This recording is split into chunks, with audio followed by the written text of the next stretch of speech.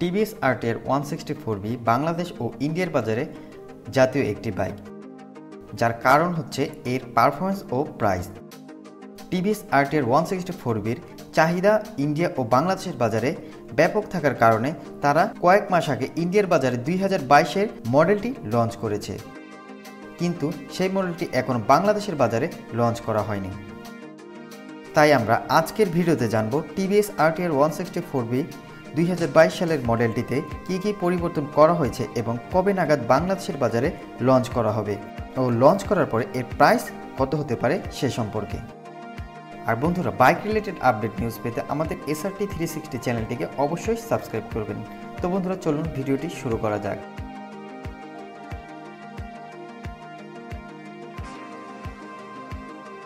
প্রথমে আমরা যদি এর লুকস অ্যান্ড ডিজাইনের দিকে লক্ষ্য করি, তাহলে দেখবেন এই বাইকটির লুকস অ্যান্ড ডিজাইনে কোনো পরিবর্তন করা হয়নি।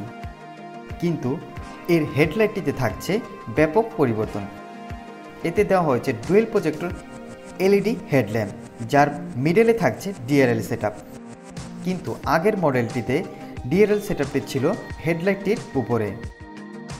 এই বাইকটির ফ্রন্ট সেকশনে আগের মতোই টেলিস্কোপিক সাসপেনশন, নব্বই সেকশনের টিউবলেস টায়ার ও ব্রেকিং সিস্টেম ব্যবহার করা হয়েছে। কিন্তু রিয়ার সেকশনে এবার থাকছে পরিবর্তন। এতে আগের মডেল থেকে ফ্যাট টায়ার ব্যবহার করা হয়েছে। যাতে ব্যবহার করা হয়েছে একশো সেকশনের রেডিয়াল টিউবলেস টায়ার। কিন্তু ব্রেকিং সিস্টেম ও সাসপেনশন থাকছে আগের মতোই। বাইকটিতে এবার সাইড স্ট্যান্ড কাট অফ সেন্সরের সাথে অ্যাডজাস্টেবল ক্লাচ ব্যবহার করা হয়েছে, যার কারণে রাইডিং এক্সপিরিয়েন্স হবে আরও বেটার। এবার এই বাইকটির স্পিডোমিটারে থাকছে বেশ কিছু পরিবর্তন, যাতে অ্যাড করা হয়েছে আরও তিনটি রাইডিং মোড আর আর mode, sport mode, rain mode, যার ফলে রাইডিং হবে আরও বেশি সেফ। এবার আসি বাইকটির সবচেয়ে বড় পরিবর্তনের দিকে।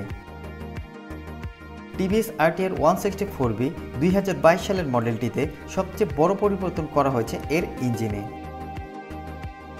এর ইঞ্জিনে এবার পিএস সিক্স এফআই ইঞ্জিন ব্যবহার করা হয়েছে, যার ফলে এই বাইকটির ইঞ্জিন থেকে আগের থেকে বেশি মাইলেজ পাওয়া যাবে আগের মডেলটি থেকে। এর প্রতি লিটার মাইলেজ দিয়ে থাকবে বিয়াল্লিশ থেকে পঁয়তাল্লিশ কিলোমিটার পার লিটার। এখন আসে এই বাইকটি কবে নাগাদ বাংলাদেশের বাজারে লঞ্চ করবে। এই বাইকটি আগামী দুই মাসের মধ্যে বাংলাদেশের বাজারে লঞ্চ করা হবে এবং এই বাইকটি বাংলাদেশের বাজারে লঞ্চ করার পর এর প্রাইস হতে পারে দুই লক্ষ তিরিশ থেকে দুই লক্ষ পঁয়ত্রিশ হাজার টাকার আশেপাশে। তো বন্ধুরা, ভিডিওটি কেমন লেগেছে অবশ্যই কমেন্ট করে জানাবেন আর ভিডিওটি ভালো লেগে থাকলে অবশ্যই লাইক করবেন। ধন্যবাদ।